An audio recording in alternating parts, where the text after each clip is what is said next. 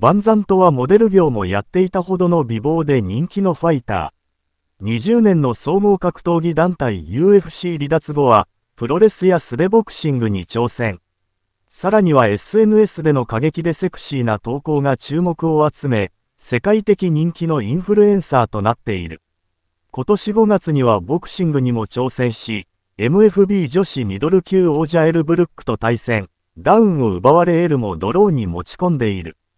バンサントは次なる挑戦として、UFC ダナ・ホワイト社長主催の平手打ち大会、パワースラップに参戦。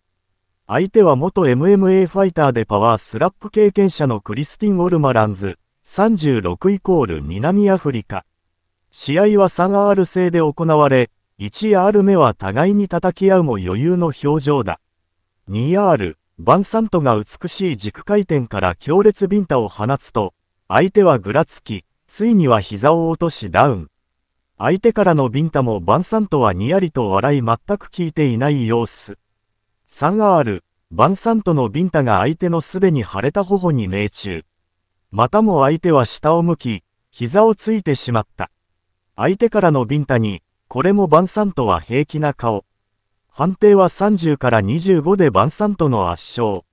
バンサントはインタビューで、信じられないくらい楽しすぎる。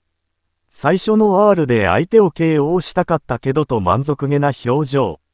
さらに、きっとパワースラップとは長い関係になるわ、と継続参戦を希望した。バンサントは UFC5 勝4敗、BKFC では2連敗だが、ファンたちは、この競技は彼女の転職だと素晴らしいビンタを称える。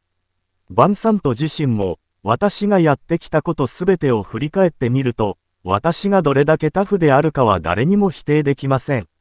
この競技は究極のタフさの試練ですとパワースラップに集大成をかけるつもりのようだ。